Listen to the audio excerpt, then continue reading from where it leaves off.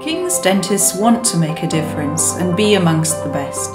They are the sum of their parts, yet each is as individual with their own story to tell. They are students, but when they put on their tunics, they are professionals too, with their own patients to care for.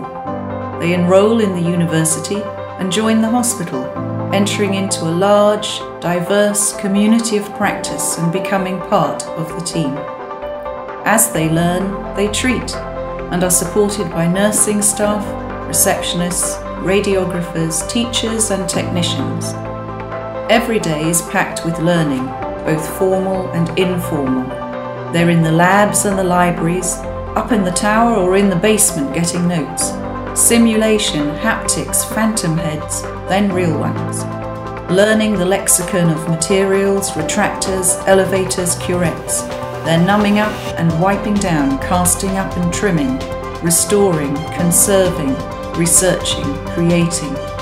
There are teeth, lots of them, morphology of crowns and roots, endodontics, periodontics, oral med and surgery.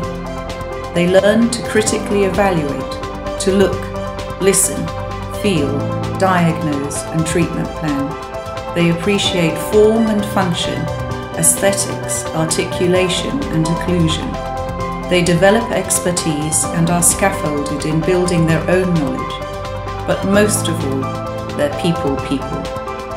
They want to educate the public and gain their trust, treat disease and improve oral and systemic health. They seek out the evidence and become clinicians, leaders, innovators, and researchers, but in doing so, they balance the sciences with humanity.